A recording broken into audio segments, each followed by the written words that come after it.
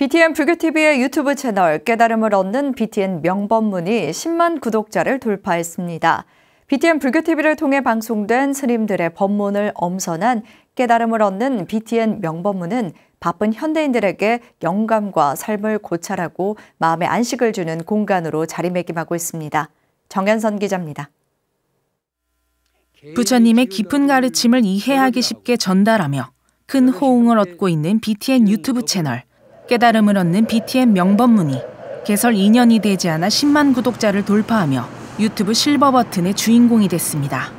깨달음을 얻는 BTN 명법문은 BTN 불교 TV를 통해 방송된 명법문을 엄선해 재조명하고 바쁜 현실을 살아가는 현대인에게 깊은 영감과 삶을 고찰하는 시간을 제공하며 꾸준하게 호응을 키워왔습니다.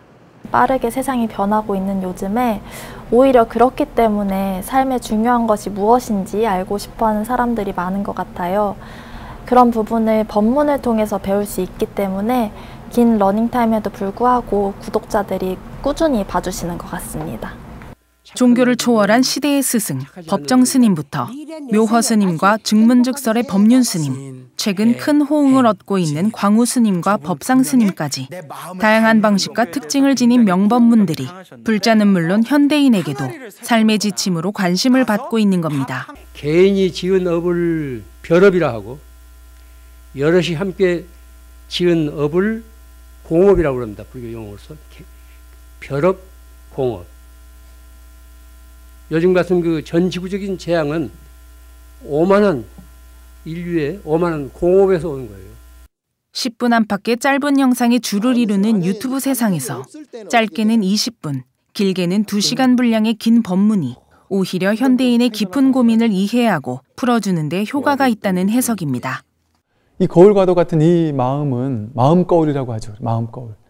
이 마음 거울은 언제인지 모를 옛날부터 한 번도 생겨나거나 사라지지 않고 불생불멸한다고 하는 거예요. 부증불감, 불구부정하단 말이에요. 깨끗하고 더럽지도 않고 생기거나 사라진 것도 아니고 늘 있단 말이에요. 깨달음을 얻는 BTN 명법문은 구독자 10만 돌파를 계기로 더 다양한 주제와 형식의 법문을 통해 현대인의 삶에 긍정적인 변화를 일으킬 수 있도록 노력하겠다는 계획입니다.